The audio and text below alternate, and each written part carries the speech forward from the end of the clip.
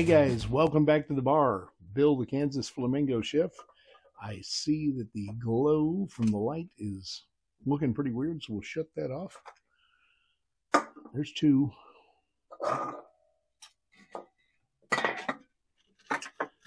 There's four, six, eight, nine, which means it's time for beer number 10 of the 12 beers of Christmas.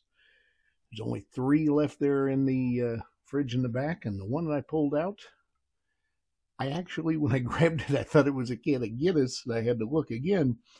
This is the Wiener Lager. That sounds interesting. And that's literally the only thing it says on the can. So uh, that's all I know about it. But uh, let's let's give it a go. You, you've got more information on the screen, hopefully, than I do. I haven't scanned the uh, QR code yet, so I don't even know if it'll scan in. Well, if it does, then you're looking at it right now, even though I'm not. Um, anyway, I I don't have any idea. Let's find out. Let's open it up and see what happens.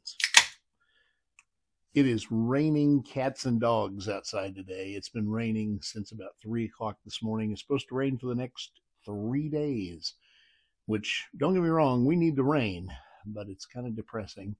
But it does make for soup and uh, stew weather. So I'm going to go make goulash here in a little bit and I'll film that. Uh, let's just take a look. It looks, uh, it's a little darker. Kind of an amber. Built up a pretty decent head there. It's, uh,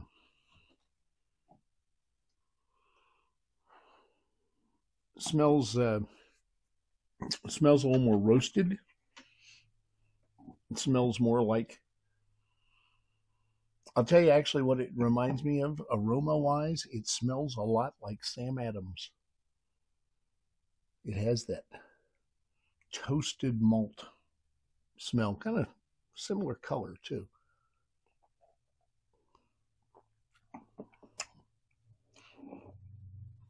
It's not bad. It's uh, it's definitely a bottom brewed lager with a little more roasted malt. Um,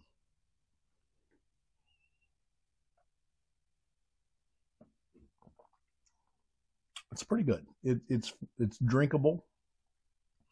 I like it better than some of these for sure. Um, it is more reminiscent of American craft lager.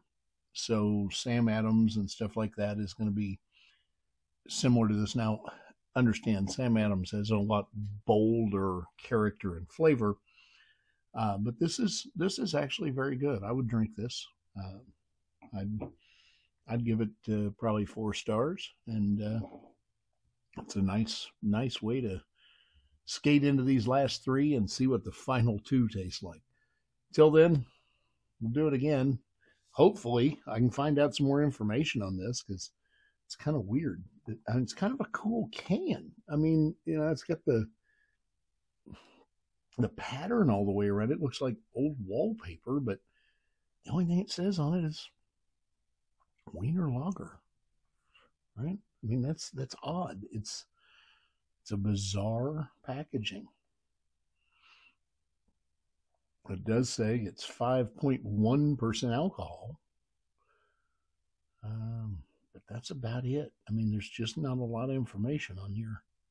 So, I don't know. It's pretty good though. See you on the next one. Eat and drink fabulous.